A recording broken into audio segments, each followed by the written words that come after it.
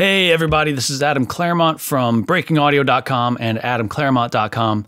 Today, I want to show you how trashing your prefs doesn't always have to be a royal pain in the butt. It doesn't have to take forever. There's a simple solution. So, I'm going to share that with you. And if you like tips just like that, then make sure you hit that subscribe button right now. Hit the bell so you don't miss any videos that we're releasing that are just like this Pro Tools tips, Ableton tips, how to be a better engineer, all that great stuff at breakingaudio.com. All right, so let me dive into my screen and I'll show you what's going on. Okay, so I recently came to the conclusion that I needed to trash my preferences, and I know because I see in the forums that so many people are so hesitant to do this because it's a big pain in the butt. You've got to reset all of your settings, your I/O, and all your preferences, and who wants to do all that and take the time? Well, let me show you. It doesn't actually have to take all that time. Okay, so what I'm not going to do is I'm not going to go through the process of trashing the prefs. You can Google that. There's that's a simple thing. We all know how to do that. If you don't, like I said, just Google it. It changes all the time, depending on if you're a PC or Mac or what version of Pro Tools. So I'm not going to get into that because it'll change. Anyway, what I will do is tell you that I just trashed my prefs, and now I'm going to show you, I'm going to walk you through what I've done to make this uh, a simpler process for my life. So here's a Google Doc, uh, a Google folder that I've created uh, called Adams Pro Tools Docs, and I've got in that Adams Pro Tools Preferences. So in here, I've got a doc that says Trash Preferences because I can't remember a thing to save my life.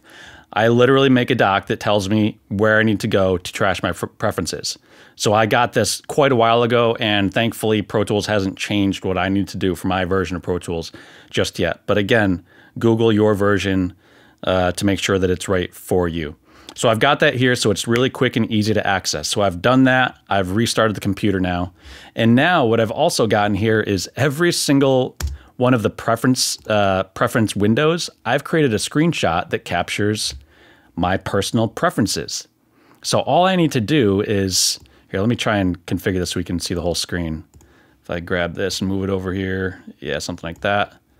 And if I go into my preferences, move this over here, yeah, so display, you see this right here? It's display. Okay, perfect. So all you have to do is just copy, you know, what, what I see here and put it over here. So that needs to be checked. What else am I missing? Category type. No, this needs to be category manufacturer. Uh, what else am I missing? Always, no, that's good. Track type, this is good. Cool. So now I'm gonna go to operation and go back over here.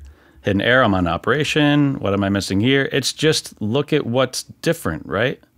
Um, this I know I want 30 and I want to make a new session every two minutes. And everybody's going to have different preferences. It's all about how you work. But the point is, it's this simple to just get it done really quickly. And, uh, you know, it's taking me even longer than it would because I'm explaining it, but you can see how quick I'm moving through here, right? So, a uh, couple things I'll show you. I'm not going to go through this whole thing right now, but a couple things that I'll show you um, that might help you to get going with this. And again, I mentioned I don't remember a thing to save my life. So I actually wrote a, a, a doc to tell myself how to create uh, the screen capture. So it's not the full window. You can just draw the window that you want. And this is how I do it on a Mac. If you're on a PC, you know, Google that, it's there. Um, but all you need to do, uh, press, press Shift Command 4 and the space bar. So I'll do it with you, just kind of show you really quickly um, how we do it. So uh, Shift Command 4 and see this little crosshairs. And then you just go around here once it's right and you drag. And as soon as I let up my mouse, it's going to take the shot.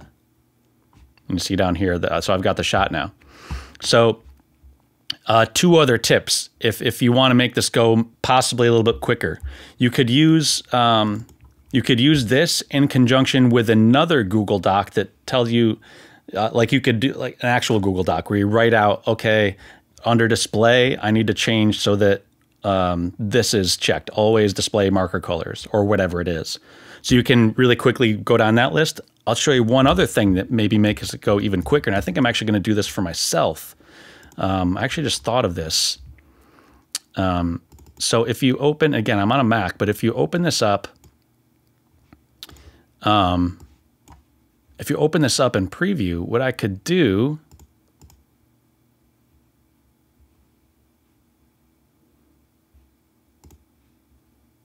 what I could do is make these arrows. So like, for example, um,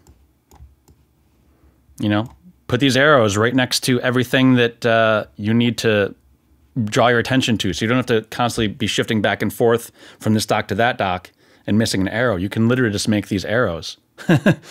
so your eye goes right to it. So anyway, my point is eventually, if you work in Pro Tools, you're going to need to trash your preferences.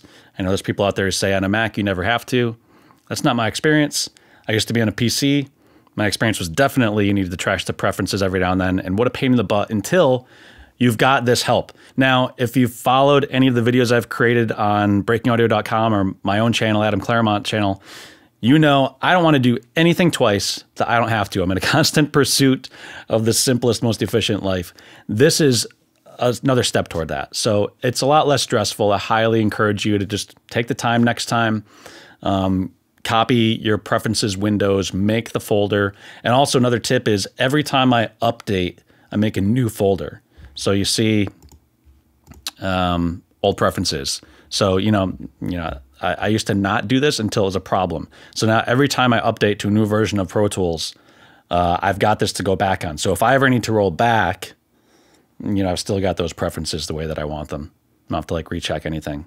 So anyway, uh, I hope you enjoyed that. Make sure you like and subscribe. Give us a comment. That helps out everything a whole lot. BreakingAudio.com. And I'll check you out on the next video. Thanks again. Bye.